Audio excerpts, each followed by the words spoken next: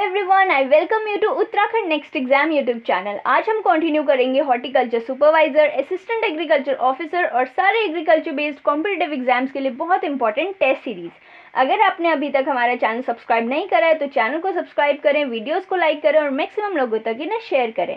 आप हमारा Telegram group भी ज्वाइन कर सकते हैं, जिसका लिंक हमने डिस्क्रिप्शन बॉक्स में मेंशन किया है. वहाँ से आप जो भी हमारे यूट्यूब चैनल में वीडियोज़ आती है, उनकी पीडीएफ को डायरेक्टली डाउनलोड कर सकते हैं। आप आकलन ऐप को भी डाउनलोड कर सकते हैं हमारे गूगल प्ले से, जहाँ पे आपको वेरियस कॉम्पिटेटिव एग्ज़ाम्स के टेस्ट सीरीज़ प्रोवाइड किए जाते हैं।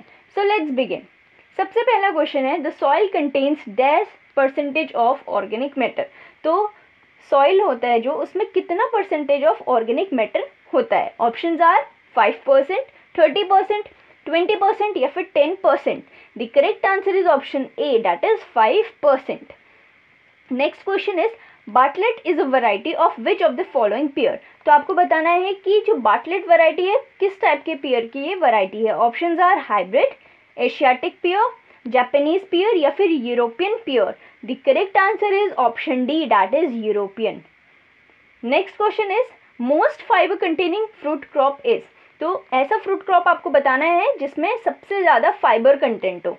ऑप्शंस आर गुआवा फिग जिसको हम हिंदी में अंजीर भी बोलते हैं ber and litchi the correct answer is option B that is fig next question is ये वाला जो क्वेश्चन है, वो हम नेक्स्ट वीडियो में कवर करेंगे, क्योंकि इसमें कुछ एडिटिंग की requirement all right next question is the first maize hybrid in India was तो मेज की पहली ऐसी हाइब्रिड का नाम बताना है आपको इंडिया की है जो।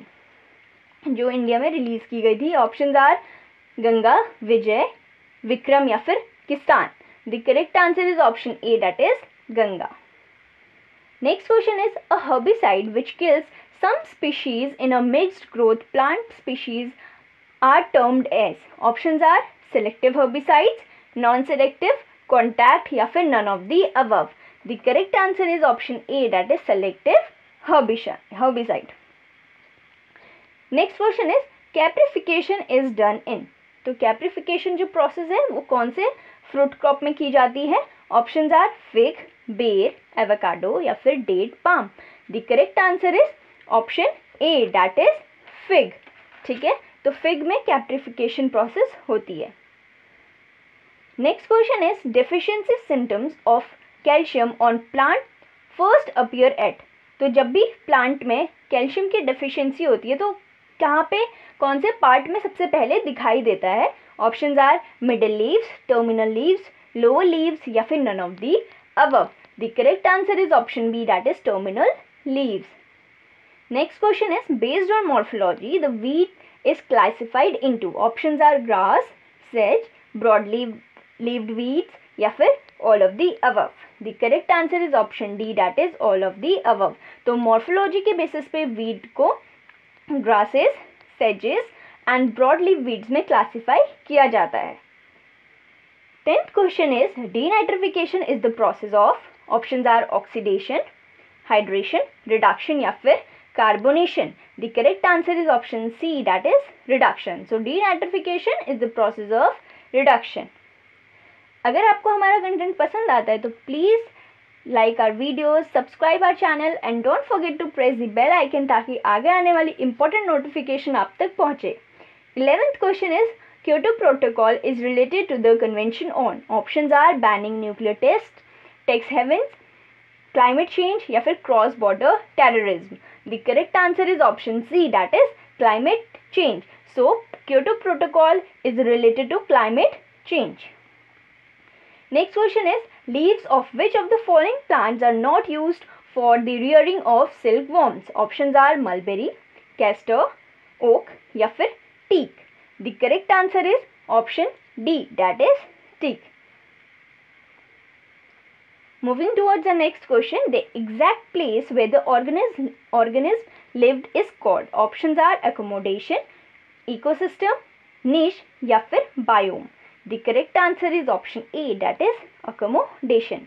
So accommodation एक exact place है जहाँ पे organism रहते हैं ठीक है Next question electrostatic precipitator is used to control air pollution, water pollution, solid waste या फिर noise pollution. The correct answer is air pollution ये भी जो भी हमारे इलेवेंथ से लेके ट्वेंटी तक के क्वेश्चन होंगे they are of environmental sciences जो कि एक इंपॉर्टेंट पार्ट है हमारे सिलेबस का और right next question is which of the following pollutants is the major contributor to the photochemical smog option are hydroperoxide peroxynitrates ozone या फिर nitrogen dioxide the correct answer is option D that is nitrogen dioxide so photochemical smoke के लिए सबसे ज़्यादा कौन contribute करता है as a pollutant that is nitrogen dioxide all right now our sixteenth question is which is renewable source of energy तो आपको पता होगा कि जो रिन्यूएबल सोर्स ऑफ़ एनर्जी क्या होते हैं? जो नेचुरल रिसोर्सेज हमें मिलते हैं, जैसे सनलाइट है ना? सनलाइट विंड ये सब रिन्यूएबल सोर्सेज ऑफ़ एनर्जी के एग्जाम्पल्स हैं, ठीक है? जो रिप्लानिश हो जाते हैं विद टाइम है ना? और हमारी जो पूरे एटमॉस्फेयर है, जो हमारे आसपास है, वो मैक्सिमम प्लेंटी फुल होते हैं, बहुत ज़्यादा होते हैं अमाउंट में, ठीक है? तो हमें बताना है कि कौन सा रिन्यूएबल सोर्स ऑफ़ एनर्जी है? Option are coal petrol solar energy या फिर natural gas the correct answer is option C that is solar energy next question is how much percentage of fresh water is available on earth तो earth में कितना percentage fresh water का available है? Option are thirty percent two point five percent zero point three percent या फिर zero point seventeen percent the correct answer is option B that is two point five percent next question is which of the following is not a green house gas तो आपको बताना है कि इनमें से कौन सा ग्रीन हाउस गैस नहीं है? Option are water vapour nitrous oxide ozone या फिर carbon monoxide the correct answer is option D that is carbon monoxide ठीक है? कार्बन मोनोऑक्साइड को हम कैसे लिखते हैं? C O and it is not a green house gas next question which of the following is a green house gas और a gas which can deplete the ozone layer तो आपको बताना है कि इनमें से ऐसी कौन सी ग्रीन हाउस गैस है या फिर ऐसी गैस है जो कि हमारे ओजोन लेयर को क्या करती है? डिग्रेड करती है डिप्लीट करती है, ठीक है? उसको नष्ट करती है. Option are C H two C I F C two H five P F five या फिर C O C L two the correct answer is option A that is chlorofluoromethane ठीक है? Last question is which of the following movement is associated with preventing cutting of trees तो आपको बताना है कि कौन सा ऐसा मूवमेंट है that is associated with preventing cutting of trees option are Chipko movement Appiko movement both A and B या फिर none of the above the correct answer is option C that is both A and B Chipko movement और Appiko movement these both movements are related to the preventing of cutting of trees तो इसमें option C हमारा सही हो जाएगा, ठीक है? तो ये हमारा लास्ट क्वेश्चन था। With this we will enter test series अगर आपको हमारा कंटेंट पसंद आता है तो प्लीज़ वीडियोस को लाइक करें चैनल को सब्सक्राइब करें और मैक्सिमम लोगों तक इन्हें शेयर करें।